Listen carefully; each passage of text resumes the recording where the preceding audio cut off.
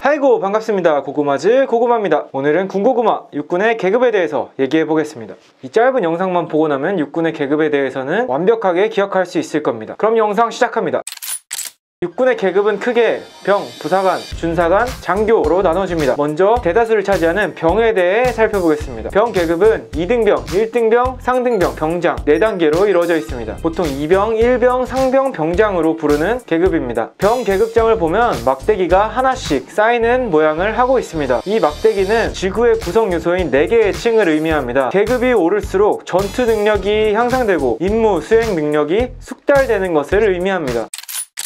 다음은 부사관입니다. 부사관부터는 간부라고 부르는 직업군인의 영역으로 들어갑니다. 부사관 계급은 하사, 중사, 상사, 원사 4단계로 이루어져 있습니다. 부사관 계급장의 모양을 보면 V자를 하고 있는데 이것은 굳건한 기초 위에 자라나는 나뭇가지를 형성한 것으로 자라나는 나무처럼 전문화된 기술, 숙련된 전투 개발 능력의 축적을 나타냅니다.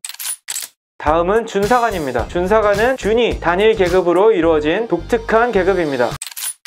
준이 다음은 장교입니다. 장교는 장교 안에서 위관급 장교, 영관급 장교, 장성급 장교 세 단계로 나누어집니다. 먼저 위관급 장교입니다. 위관급 장교는 소위, 중위, 대위 세 가지 계급으로 구성되어 있습니다. 준사관과 위관급 장교 계급장의 모양은 다이아몬드 모양을 하고 있습니다. 이 다이아몬드는 단단하고 깨지지 않는 특성을 초급 장교로서 갖추어야 할 국가소의 굳건한 의지를 표현한 것입니다. 위관급 장교 다음은 영관급 장교입니다. 영관급 장교는 소령, 중령, 대령 세 개의 계급으로 구성되어 있습니다. 영관급 장교의 계급장은 무궁화로 많이 알고 계시지만 실제로는 다이아몬드를 가운데 두고 9개의 대나무 잎이 둘러싸고 있는 모양을 하고 있습니다. 이것은 다, 대나무 잎이 사계절 푸르르기 때문에 영광급 장교의 기상과 절개를 상징합니다. 영광급 장교 다음은 장성급 장교, 장군입니다. 장성급 장교의 계급은 준장, 소장, 중장, 대장, 원수 5개로 이루어져 있습니다. 장성급 장교 계급장의 별은 스스로 빛을 내는 천체로서 군에서의 모든 경륜을 익힌 완숙한 존재임을 의미합니다.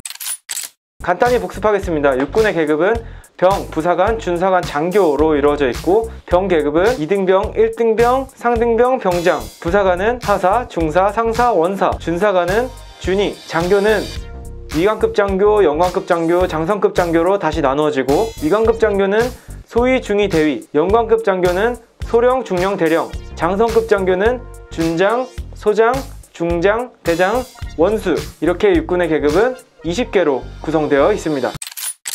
오늘 준비한 영상은 여기까지입니다. 육군의 계급에 대해 잘 알게 되셨나요? 그럼 오늘도 영상 봐주셔서 감사하고 다음 영상에서 뵙겠습니다. 들어가세요!